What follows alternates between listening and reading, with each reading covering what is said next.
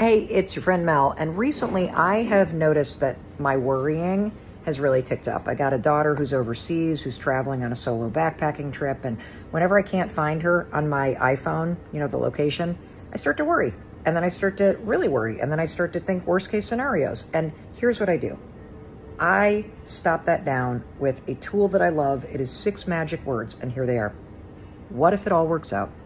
See, when you use these six words, you ask yourself this question. And when your brain hears you ask the question, what if it all works out, it stops the worry spiral to consider the question. Huh, what if it does work out? Because the truth is, you don't know what's going to happen in the future. So why only consider the worst case scenario? Why not train yourself to consider the possibility that it all works out? And based on research, 94% of the times, the things that you're worrying about never actually happen anyway. What if it all works out?